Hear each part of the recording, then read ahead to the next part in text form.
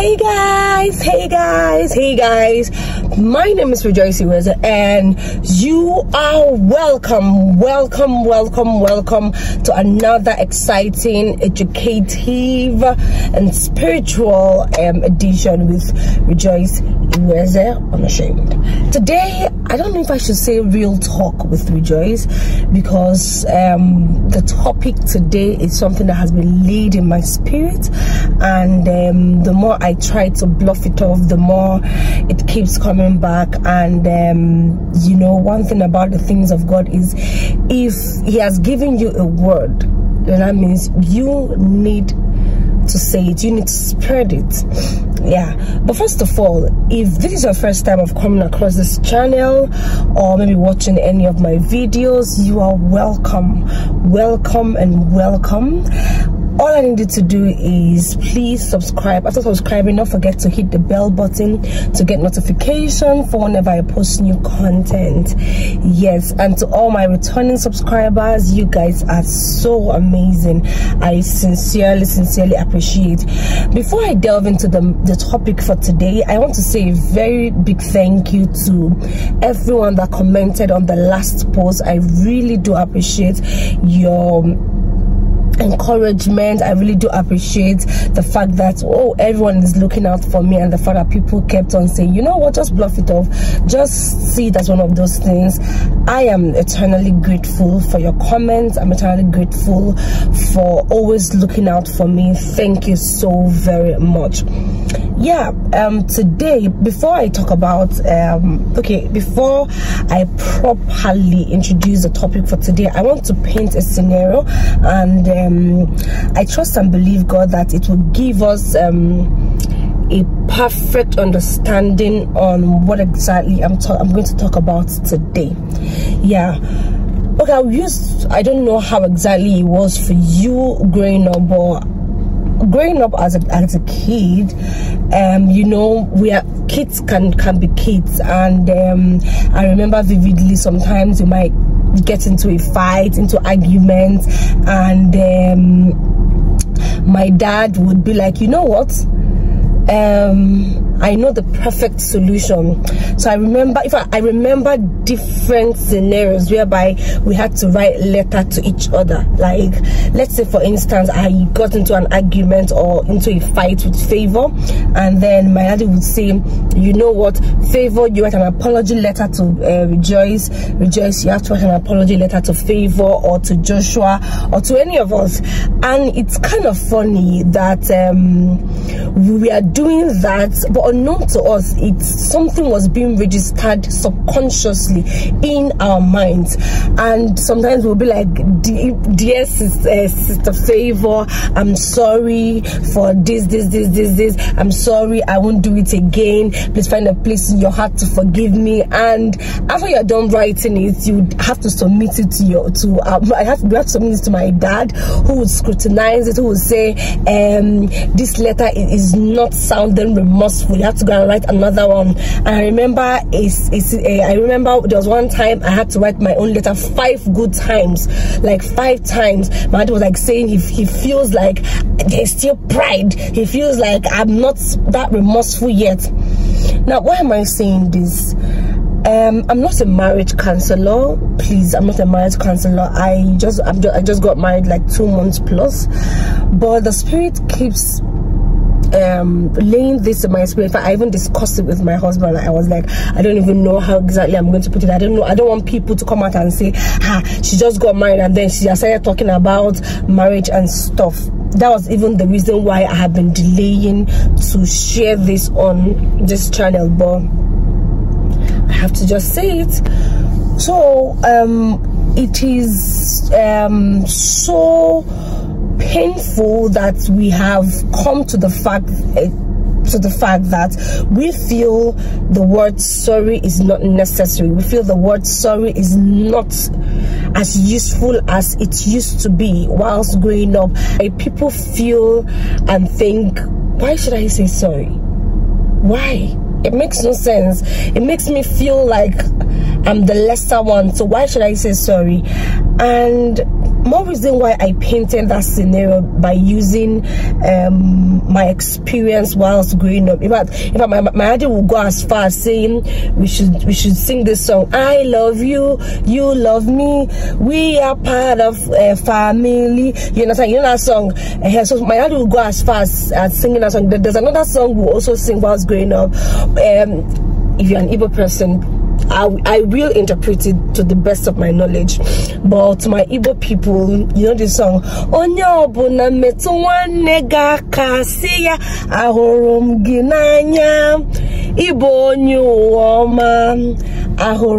n'anya. The song simply means ah everybody touch your your brother, touch your neighbor basically tell the person i love you recognize i love you and you're a favored person. And i can remember grumbling like we would just be hugging ourselves and and stuff. And it, it is not coming from our it, it is not coming from our heart. We're very sincere with you. But the thing is that my heart was just trying to let us know that you guys are siblings. So yes you guys will always fight. But the thing there is that don't forget that we are siblings. And the fight should not separate us. What the fight should do is okay i'm wrong here you're wrong there. The best thing i can do is say i'm sorry. So we might be saying that we might be singing that song and then not meaning it but subconsciously something was being registered in our mind in our heart and um after that we would now go and say i'm sorry i won't do it i won't do it again and then there goes the other person and stuff. So why am i saying this?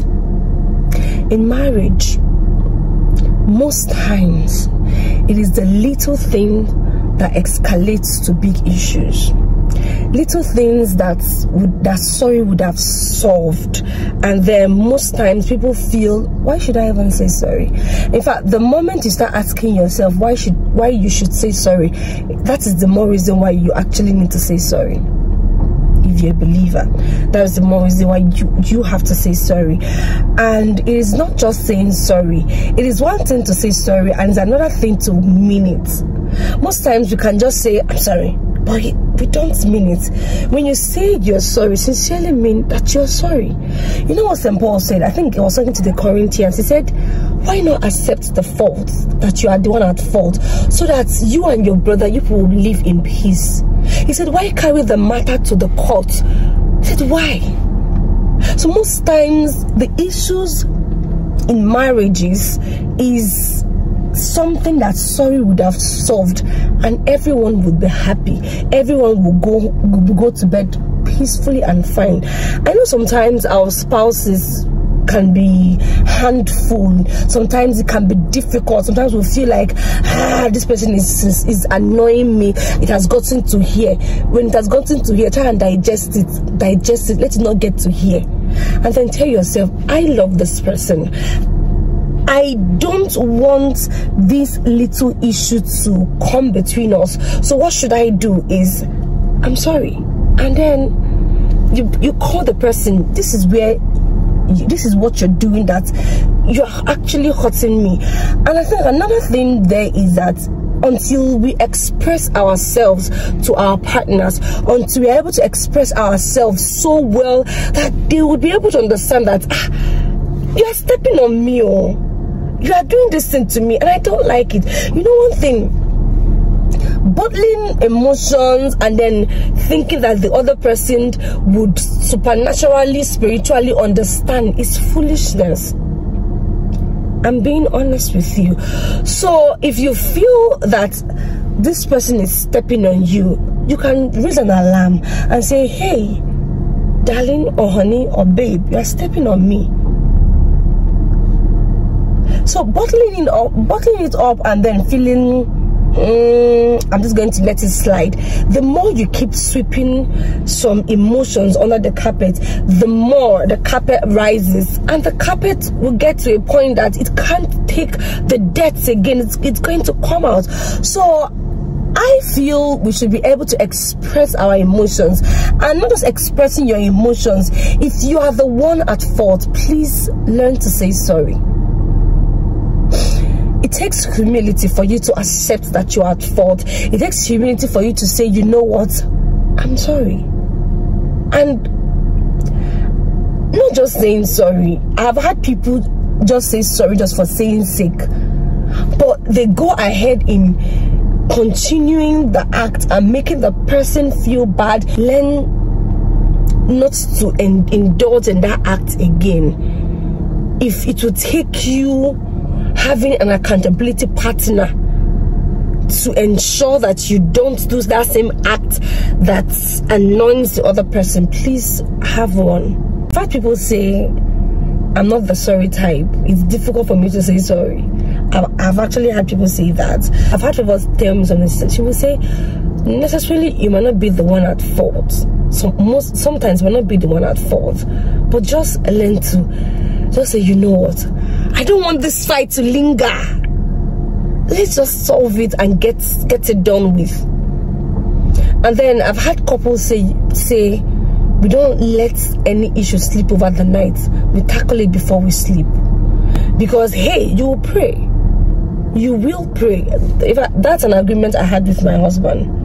In fact, we had it together. We said that no matter how the issue might be, we will settle it before we sleep because the next morning you get down on your knees and you pray. So imagine and, and look at what Bible said.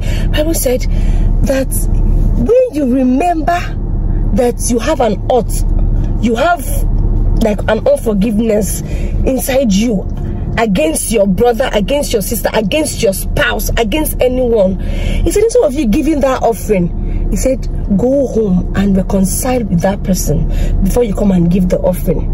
Sorry solves lots of problems more than we can think of or imagine. And when you say the sorry, mean it. Don't just say it for saying sake.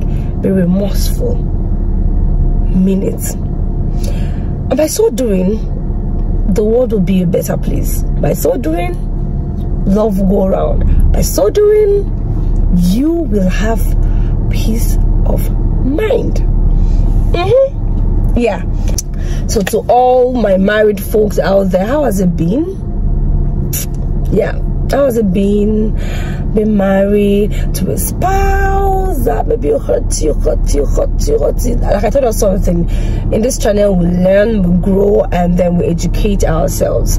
So how has it been for you being the one saying sorry, or sometimes you're at fault, and then you are looking for a way to say sorry? You know, we ladies can be very, very wonderful. We'll not be looking for a way, we'll not be like, we'll be crumbling. Why should I ever say sorry? So how has it been for you? I'd like i sincerely i'd like to know. And um, thank you to everyone who watched today's episode. I am sincerely sincerely grateful.